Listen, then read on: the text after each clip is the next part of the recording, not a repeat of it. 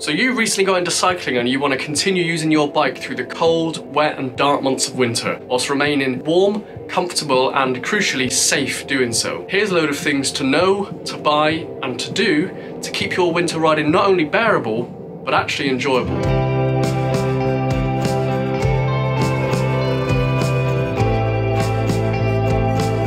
Key to staying warm and dry on your bike is layering. This is true all year round, but it's particularly applicable in the winter. The idea of having lots of thinner layers of clothing rather than say one big heavy coat is that it offers you much more flexible options. If when you start your ride it's freezing cold, you've got all your layers on, and as your ride progresses, perhaps it warms up and you're able to take one of your thinner layers off. In terms of the layers that you might wear, you'd classically start with a base layer, which is the layer closest to your skin. Classically, a base layer should be thin, light, and quick drying so that it's able to wick away moisture and sweat from your body. Now just for day to day, people often wear cotton such as this t-shirt here, but that is actually classically really not a great base layer option. It's really bad if it gets wet, it's really slow at drying, and actually it will just make you colder on your ride. Cycling base layers are often made of merino wool or some kind of synthetic vegan alternative. So an example of a base layer could be this short sleeve one that I got from DHB, which I think was about 15 pounds. On top of your base layer, you might then have some kind of warmer mid layer. For me, a mid layer should always have a zip just because it allows for really quick and easy adjustment of temperature. An example mid layer could just be a fleece with a little zip down top. This specific one is from Haglofs and I got it just off eBay.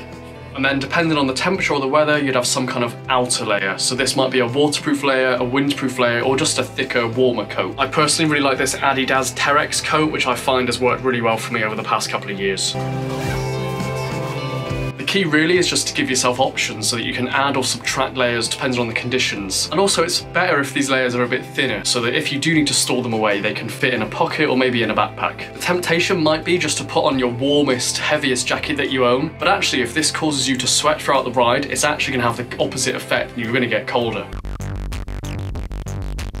In combination with layering, there are a few key accessories and pieces of kit which will make your riding much more comfortable and enjoyable. Probably my favourite bit of cycling kit is a buff. Sometimes called a snood or a gaiter, it's a kind of scarf that you can tuck into your top and also pull up over your face when it's particularly cold. You can get super thin ones like this Albion buff here or slightly thicker ones like this Patagonia one that I also own. It's just a really flexible piece of kit that keeps the chill off your neck, stops the wind getting into your top and also can just keep your face warm if it's particularly cold. And because it's so small small, if actually you realise you don't need it, you can pop it into a pocket. Or if you're not sure if you're going to need it that day, just carry it with you. And if you do, there it is. For me, the next thing I always recommend is either some kind of hat that fits into your helmet or a headband. For me, the crucial thing for this piece of kit is that it covers your ears. In the winter months, if it's raining or if it's just windy, your ears are kind of super exposed. And for me, my ears can get quite painful if they're too cold. So just a super thin headband that just covers your ears can just stop that. This headband is from Castelli and I think it cost me like five pounds from somewhere like Wiggle. And this hat, which is so thin that it can very easily fit under your helmet, is from a brand called Black Diamond. I think I bought it from the website Ultralight Outdoor Gear. I think this is 25 grams. It stows away into almost literally nothing and I think it was less than 20 pounds. Again,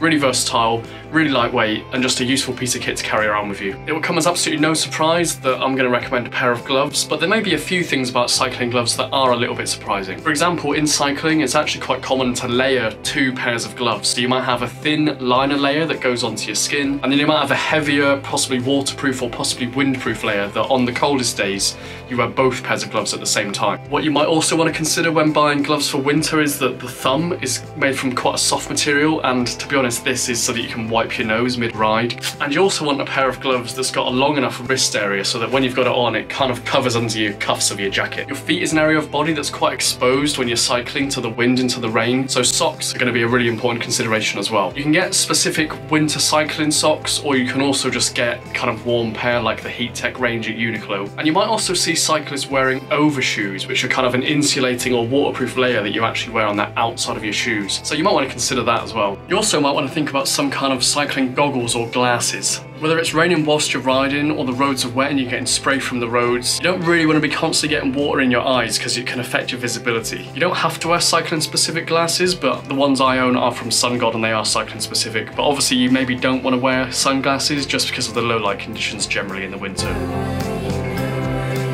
well as staying warm from the cold on your ride, you're also going to want to stay dry from the rain. So waterproofing is a really important consideration as well. You might want to consider buying a waterproof pair of shoes, which surprisingly don't always have to look absolutely awful. These are a pair of Adidas Terrex, which I think still look relatively human. These are walking shoes rather than cycling specific shoes, but they still got a relatively stiff sole and they're not too wide, so they're not going to catch on your bike when you're pedaling. In the winter, even when the forecast is completely dry, I always recommend people carry with them a rain cape. A rain cape is just a really lightweight, small, waterproof jacket that can fit really easily in your bag, but you can throw on if the heavens do open. Worth noting that rain capes aren't the most waterproof jacket. If you know it's going to rain your whole ride, then do put on a properly heavy duty waterproof coat. But it's a really good option if you need to stop on the side of the road and just want an extra little layer, or if you get some unexpected rain on your ride, you can just pop your rain cape out of your pocket and just throw it on. This is a DHB rain cape from Wiggle. It wasn't too expensive. It packs down really small, so it's easily going to fit in a pocket or in your bag. It's just worth carrying with you even if the forecast is dry. And if it's really tipping it down or if you commute every day, you might want to consider investing in a waterproof pair of trousers. Waterproof trousers aren't necessarily going to be the most comfortable. They might cause you to get a bit sweaty underneath them, but if you need to get from home to the office and it's proper tipping it down, it's probably a decent option to consider. And finally, whether it's recently rained or it's raining currently, your tyres are going to spray up loads of wet from the road, so you want a pair of mud guards on there. You can get full mud guards that fit the entirety of your wheel, or you can get very small little ass savers that just cover you from the worst of the spray. But it might actually be surprising the amount of wet you get just from the roads, even if it's not actually currently raining.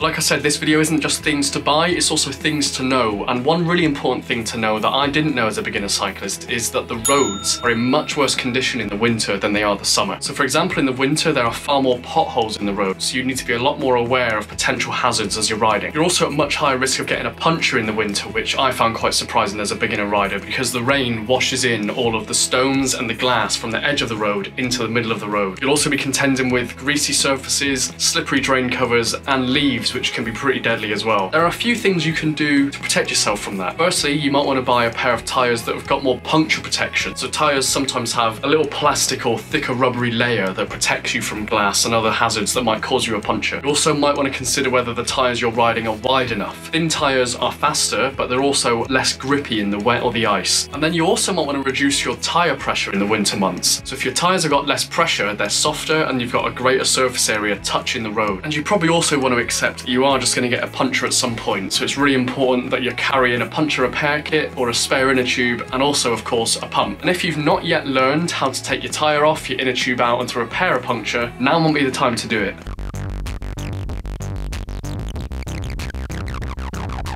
And in the winter months, it's obviously really important to remember that the days are shorter and darker, and you want to make sure that you're visible to cars, drivers, and other road users. In terms of visibility on the bike, there's a few things to consider, and one of those obviously is lights. You want a white light on the front of your bike, and you want a red light on the back of your bike. One really important thing to note with bike lights is that some lights are there so that you're seen by others, whereas other bike lights are there so that you can see where you're going. So this smaller, cheap light that I got from Halfords, which I think was less than £10, is fine if all you need to do is be seen by cars on the road whereas this CatEye light is much bigger, much heavier, it's got a much bigger battery life and it's going to illuminate the road much more so that you can see actually where you're going. And another consideration is how visible is the clothing that you're wearing. Whether that be a really bright colour like this rain cape here or just clothing that's got little reflective strips on that will bounce car lights off. Or this helmet from Planet X which is covered in an entirely reflective, almost glittery surface that properly brights up when a car headlight hits it.